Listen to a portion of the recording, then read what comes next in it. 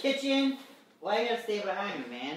We're in the kitchen. We're talking about Klein tools. All right. Uh, Klein's been around for many, many years. They Many. build really quality tools. I know I have a pair of wire cutters from Klein, and I love them still today. I mean, I think I've had them for not that long, maybe five years, but uh, they're just quality. They remain sharp, and they're one of my go-to tools. Uh, Klein's been dipping into the electronics testing area as far as electricians go, multimeters. They got a Which we got one coming up, a test on a multimeter. we got a multimeter test coming up. We got a uh, Cat 5 uh, testers coming up that we're working on right now. But today we're going over something really simple that's easy for the homeowner or the electrician. It's a GFCI. No, it's not GFCI.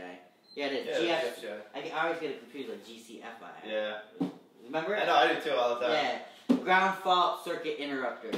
Wow, Dan. I Man, am it is before noon. We gotta start doing videos earlier. I know. Whoa. Uh, why do I hear beeping? Oh, that's my, my, my thing. Um, but yeah, so this is a receptacle tester. So what it's gonna allow you to do is gonna put you put it in. Eric, go ahead and pop it in one of the plugs here. it's got lights on the back too, which will. It's got yeah, lights on the back. It's gonna give you uh, tell you if you have an open ground, an open neutral, an open hot, a hot ground reverse, a hot neutral reverse, a hot neutral with a hot open, or correct. As you can see right now, it's correct. So Eric's gonna. Uh, Yeah, there's a button you push and it'll actually trip that one right there. You'll hear it click. Boom. So you can test the whole circuit right there. We just tripped it, so we know that we our ground fault is working well. And you can see the lights went off, so it did work. Yeah.